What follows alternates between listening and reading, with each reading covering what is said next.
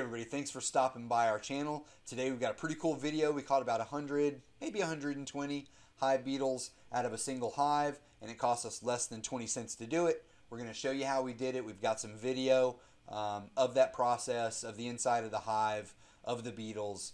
It should be fun. Don't forget, this week we've got a giveaway. Uh, our May giveaway is going to be a select grade um, uh, either 8 or 10 frame hive body. Uh, your choice. We'll let you pick. But the only way you're going to know that that video has been released and how to enter into the drawing to win uh, is to hit, and I mean smash that like and subscribe button right there on this video so that the next video we release, you'll know about it and you can get in on our giveaways. We do a giveaway every month. It's always fun. Let our, our viewers uh, enter in and then we have a drawing for it. So it should be fun. Check it out. Smash that like and subscribe button. Check out this video. 100 to 120 hive beetles dead. Less than 20 cents to do it. Thanks for stopping by. Let's get going. Hey guys, Cliff here with Funny Bug Bees.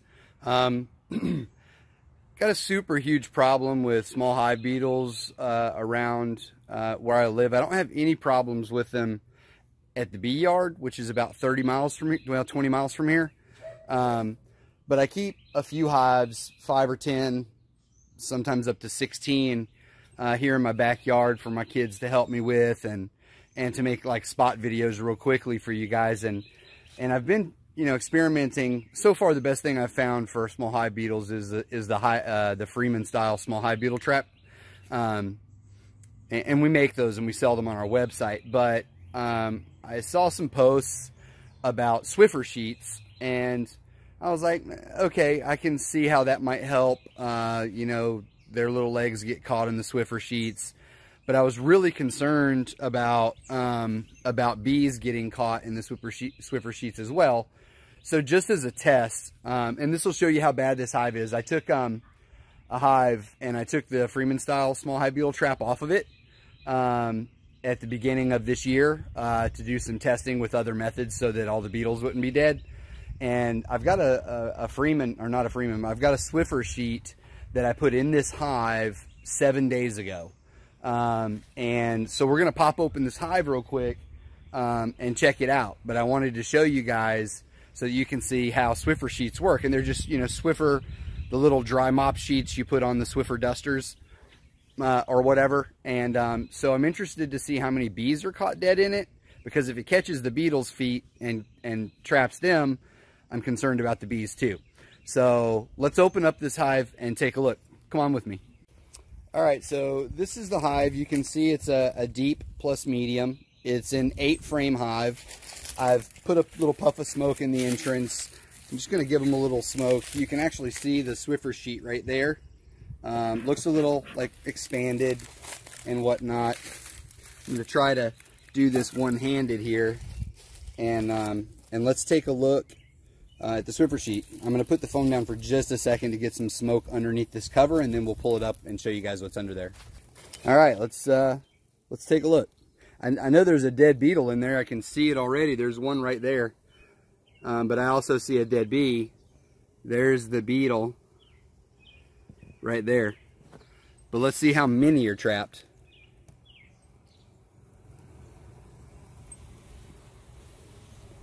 Wow. That's pretty amazing.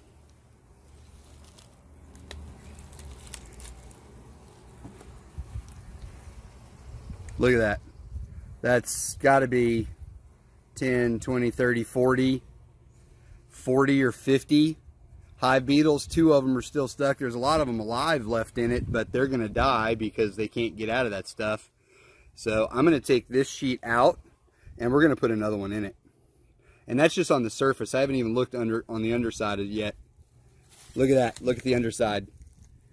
Underside has at least at least 50 or 60 beetles as well. So that's a hundred hive beetles just in that one hive. And that's without the uh, the Freeman style hive beetle trap in it. We don't want those beetles to get away because they're just going to go do more work.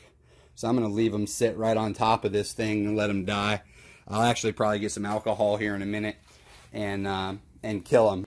All right, quick little break. That was one Swiffer sheet, and and that's the one that I had on top of that top honey super. Um, you know, I totally forgot that we're going to come to another one in this hive. So well over 200 hive beetles from a single hive. Uh, keep watching. Check this out. It's amazing.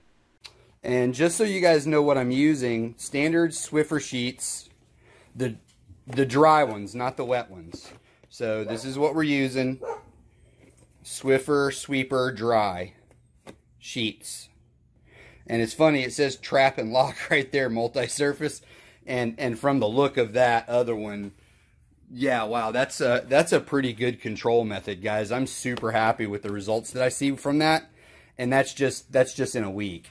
You know, and this this honey super is completely drawn out with comb. Um, but I do want to make sure that this hive is queen right before I put it back together. Um, evidently on this one I had put two Swiffer sheets in it because there's another one full of beetles on the bottom deep. So let me get it out as well. Okay, so this hive is not queen right, so it's evidently one that I'm too busy to keep track of close enough and swarmed. So I've taken a queen and put her in there. Um, they'll get her out in a couple of days and they'll start working this hive. So here's what I'm going to do. The first thing I'm going to do is put and I don't usually use queen excluders, but I want to eventually use this use this hive for banking queens. So I am going to put a queen excluder on it so that I can bank queens above this box. So that's the only reason I'm using this. I don't use queen excluders on hives unless I use that hive for banking queens. I just think it lowers honey production. So we're going to put that on. Then we're going to take our Swiffer sheet and Put it nice and flat towards a corner. I'm just to leave enough room for them to be able to get around it and up and onto it. Okay. And then we'll take this box, which I've also checked for queen, and there's no brood, there's no nothing in it. So, yeah. Uh, and then I'm also to take and cut the queen cells out of it if there are any, and I'm to go through each frame one at a time to check for that because you don't want to put a queen in there and then have another queen emerge and they kill each other. So, um, and right now I don't need any other queens my other hives, so I'll cut these queen cells out of this and just throw them away. Then I'll put another Swiffer sheet on top of this and um, and then I'll seal it up for a week and then I'll come back and put another honey super on it so they can start expanding that brood chamber. Be back in a second. All right, so just quick update. Uh, I've got the hive put back together. I cut out all the queen cells if there were any of that honey super. The bottom, the bottom brood chamber is not even fully drawn out yet, and I was using this hive for some storage of honey. And um, I don't want them to get honey bound, so I've made sure there's plenty of empty frames in the bottom. They've got plenty of honey so they can make wax. Um, there's no sealed brood in the hive, so I'm probably going to need to give them a frame or two of sealed brood. I plan on I plan on banking queens in this hive. So I've put on a queen excluder. And then you'll see I also put a second Swiffer sheet laid flat on top of the frames in this honey super. So yeah, that seems like an amazing method. Swiffer sheets. Now, is there beetles left in this hive? Yes, if you look in that corner, you see that black mass? That's about four or five beetles that have got themselves really tied into that corner and the bees are just sitting there keeping them corralled in that corner. I'm going to try to kill them if I can get the bees to move. I might just give the bees a little smoke here just to get them moving around. There, see? There went the beetles.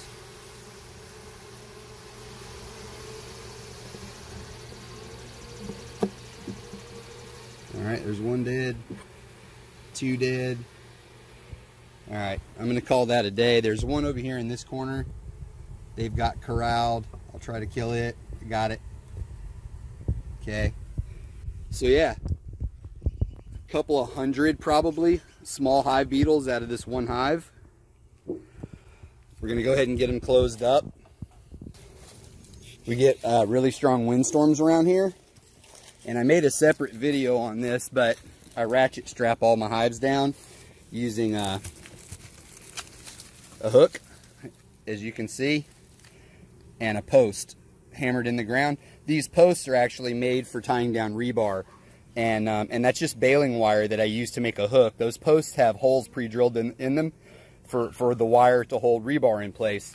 So they make perfect like anchors for hives. I've had these hives here through the last three hurricanes, tons of 60 mile an hour thunderstorms that are capable of producing tornadoes. Um, they don't go anywhere. I love them.